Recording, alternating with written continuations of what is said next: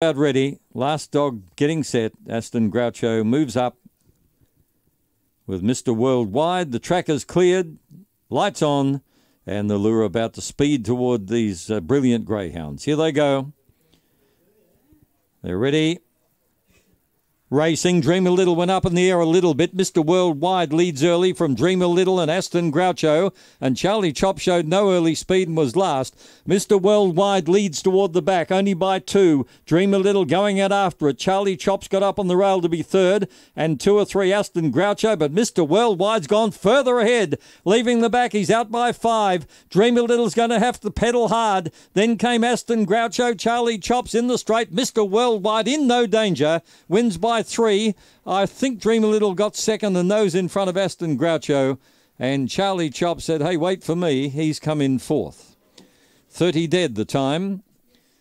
444 early. 1695 to the back.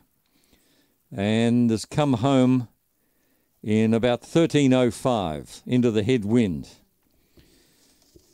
A very uh, impressive win by Mr. Worldwide, a black dog.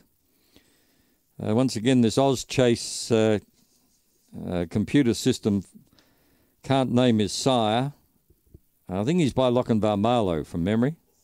Pretty sure he's by Lochinvar out of Hawko. Is raced by John Pizzianis and uh, trained by John Pizzianis. 30.01 was the official time.